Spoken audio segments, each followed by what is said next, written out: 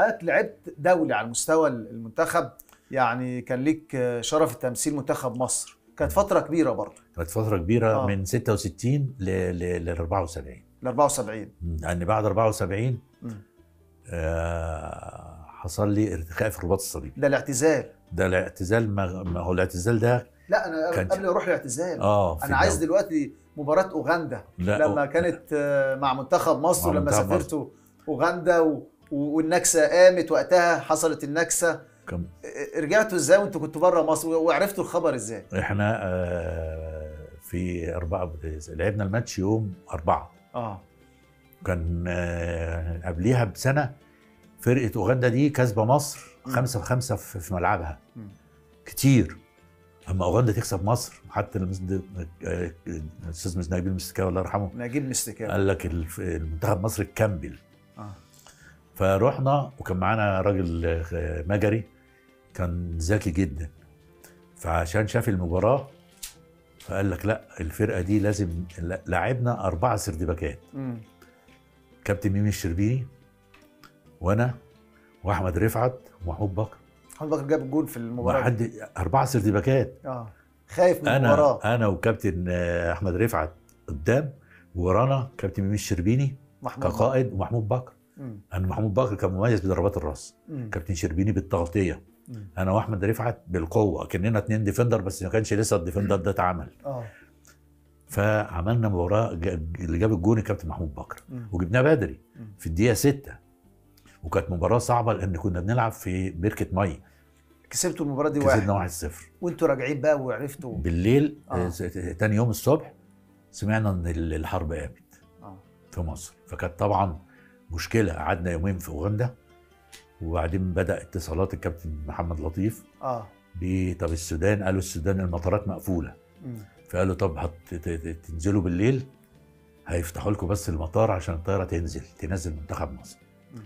وصلنا الخرطوم قعدنا في الخرطوم حوالي أربع أيام وبعدين ركبنا من الخرطوم القطر عشان نوصل لمنابع وادي النيل وصلنا في حوالي كانوا حوالي 300 كيلو. ما بين المشوار اللي هياخده القطر خده في 24 ساعة. بيقف في محطات كتير قوي وطبعا خايفين يكون في حاجة طيارات ولا حاجة. وصلنا وجينا في آه، عبارة عن المراكب القديمة بتاعت زمان دي بيسموها صندر آه. مركب في ال- ال- الموتور في الوسط ومركب على يمينه ومركب على شماله ولازقين في بعض. آه. قعدنا في ال- البحر حوالي ثلاث أيام. في إيه؟ بتشربوا إيه بقى؟ لا كان معانا الجبن ومعانا يعني كنا واخدين أكل معانا. آه عشان كان الأكل الأفريقي. آه.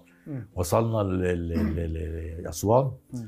ارتحنا لما وصلنا وجينا بقى في القطر من أسوان للقاهرة. خدنا في الطريق حوالي سبعة أيام لغاية ما رجعنا. يعني من أوغندا إيه، لمصر خدتوها في أسبوع. في أسبوع. لأن كانت ما كانش في أخبار آه. ولا في تليفونات ولا والناس يعني قالوا لا دي الفرقة مش هتيجي وبتاع. الحمد لله وصلنا في خلال أسبوع.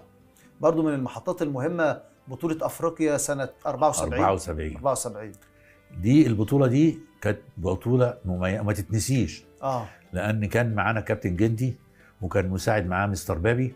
لكن حظنا كويس إن كان في مستر كرامر ديتمر. كرامر الخبير العالمي كان بيدي دراسات للمدربين المصريين. فكان هو اللي بيمرنا مع إن ده كان ممنوع لكن الكابتن حسن حلمي وحسين مذكور والناس دول بعلاقاتهم الودية. خلوا الراجل يبقى مسؤول. غير كتير مستر ديتمر كرامر في طريقة الأداء و... وباستمرار كان بي... بيعمل متابعة للفرق اللي انت متوقع تلعبها. آه. وهو كان عامل حسابه على حاجة مهمة جدا. زائير هتلاعب آه، الكونغو برازافيل اللي هم دولتين منقسمين. الكونغو برازافيل الكونغو كينشاسا فاللي كانت أقوى هو مش عايز يلعب كينشاسا كان عايز يلعبها في النهائي. وكانوا الاثنين في مجموعة اسكندرية. وكان عايز ألعب برازافيل الأول. فالراجل كان عامل حسابه على هذا الأساس. تقوم برازافيل تكسب كينشاسا في اسكندرية.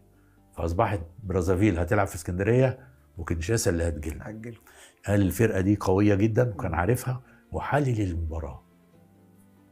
وكان ممنوع يقعد معانا تحت. كان بيقعد في المقصورة في الاستاد. انت عارف المقصوره عشان تنزل من فوق؟ عالية جدا. عالية. وتنزل من جوه ما تنزلش من عند الجمهور. آه.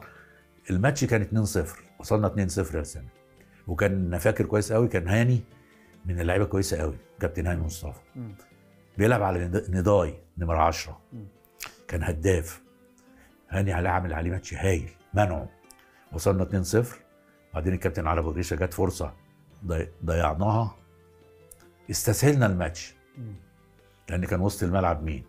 طه بصري فاروق جعفر حسن شحاته ثلاثة نجوم كبار. نجوم مواهب مم. ناحية هجومية. ناحية دفاعية مفيش التزام خلاص. آه. بقول لهم خلينا زي ما إحنا زي ما إحنا زي ما إحنا يا جماعة. قال لك يعني ده خلاص الماتش خلص. كانت لسه الدقيقة خمسة. زئير جابت فينا جول بقت 2 1 مستر كرامر عايز ينزل من فوق لتحت. لأن هيوصل إزاي لا في تليفون ولا في حاجة حب ينزل من جوه الاستاد البيبان مقفلة فضل فوق ما نزلش ما نزلش دقيقة 13 كنا 3 2 اتعور محمد توفيق آه كان سردباك هايل مم. وبعدين اتعور محمد توفيق كان الراجل عامل حساباته مم. لو محمد توفيق خرج مم. أبو العز اللي يرجع من وسط الملعب يلعب سردباك مم. جنب حسن درويش. لاعب النادي الإسماعيلي الله يرحمه أخو ميمي درويش عيلة آه. الدراوي مم. وهاني يخليه مكانه التغيير اتعمل داخلي. هاني سابني ضاي وراح داخل لاعب سردباك مم. 13 دقيقة يا أسامة كنا 3 2